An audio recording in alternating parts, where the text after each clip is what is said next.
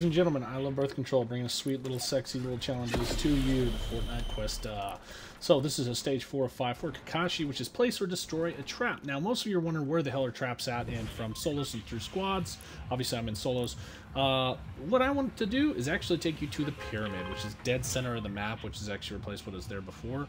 Um, but uh, mainly, we're looking for jump pads and metal walls. Now, there's a lot of jump pads that usually spawn here because, well, there's not many builds and stuff, so they kind of want you to be able to get in and out and all that stuff.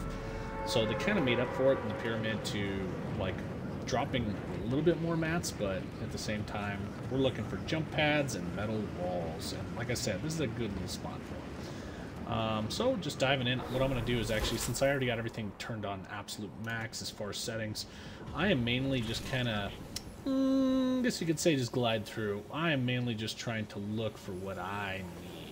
Ooh, okay, there's all kinds of stuff there. Oh, and there's some right below me. And, ooh, there's both. So here's this. You can use the jump pads or you can use the metal walls, but what I'm going to do is... Uh, oh, I kind of need some... Uh, I need some builds. Alrighty. Where are we going? Where are we going? Come on. Where's my builds at?